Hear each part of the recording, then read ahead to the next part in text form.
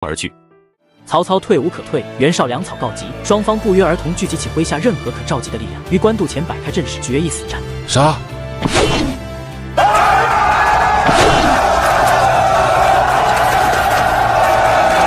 孟德，你要决战，那我便成全你。传我将令，擒曹操者升三旗，赏万金。主公可让乌桓骑兵攻曹军侧翼，而后绕后两面夹击，大事可定。是也，曹军阵中不过五千骑而已，我新收乌桓之军可有整整两万骑。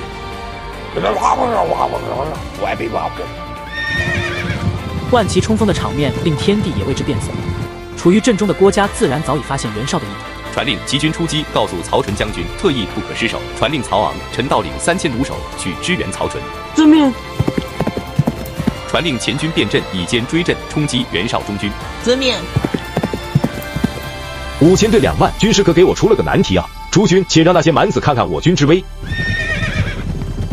呀！主公，敌军越来越多了。那是自然，仲康可是怕了。你看二来越打越来劲了呢。我才不怕，我只是担心主公安危。有你们俩在我身旁，我有何惧？奉孝义传达军令，全军随我冲击袁绍中军。曹孟德麾下之军当真勇猛，他们距离中军不远了。无妨，此战我等必胜，必胜。没想到平日谨慎的世元，如今也会说如此明确之言。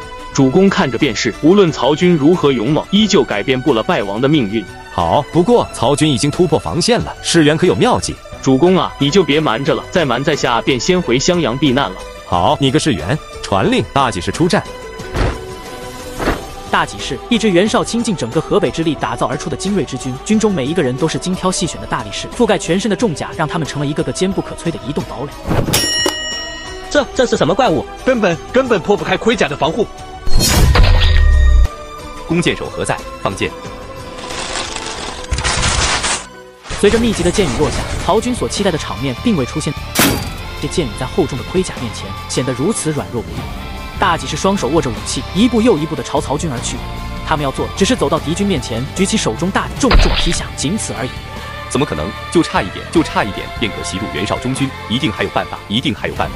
刀剑如同笑话，弩箭亦是不能破开分毫。对，能有此等防护的重甲，一定异常沉重。那么他们的移动速度必然不快。传令全军兵分两路，从两侧绕开那些士卒。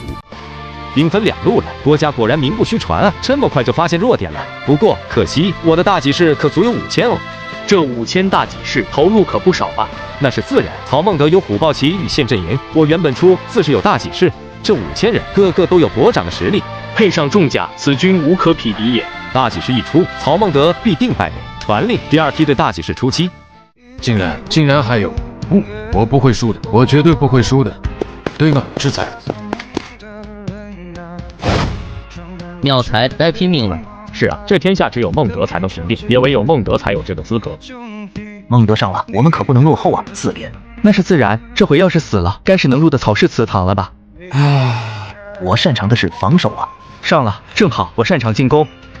诸位是男儿，是不是男儿你说了算。这家伙上来。处于溃败边缘的曹军见主将无意胆怯，低迷的士气顿时暴涨。随着主将冲向了大戟士，他们知道冲过去必死，但他们依然向死亡发动最后的冲锋。曹军有军有物，冠绝天下；曹军有军有物，冠绝天下。如此悍不畏死之军，曹孟德，你当真是劲敌？主公绝不能让曹军突破大戟士防线。嗯，传令中军出动，一鼓作气击败曹操。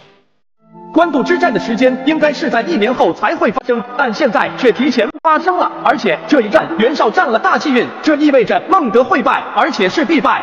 司徒，曹公这一战极有可能会败。孔明也看出来了。亮虽无法看到天道命运，但司徒一路疾行，脸上也不时露出焦急之色，便可推断出一二。而且南方群星暗淡，北方却是星光璀璨，结合亮所观天象，故而才确定曹公难以取胜。不愧是孔明，这一战关乎到未来天下走势。若是胜了，天下只需三五年便可平定；若是败了，是啊，击败袁绍，取了北方之地，天下间还有谁会是曹公之敌？可惜天意如此。天意嘛，孔明，你先去休息吧，再有半天，我们就能到官渡了。天地不仁，以万物为刍狗。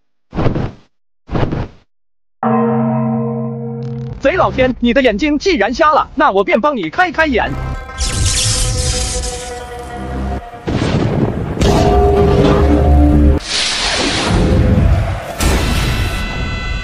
孔孔明先生，先生在干什么？亮就知道司徒会这么做，故而急忙去找你一同劝阻。没想到司徒行事竟如此决绝果断。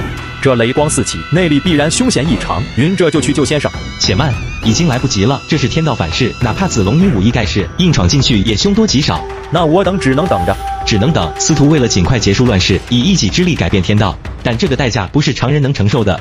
代价？难道先生是以寿命至少二十年寿命，或许更多？为了天下苍生，司徒已是倾尽所有了。天下苍生，先生，云定会为你扫清障碍。袁绍便是第一个。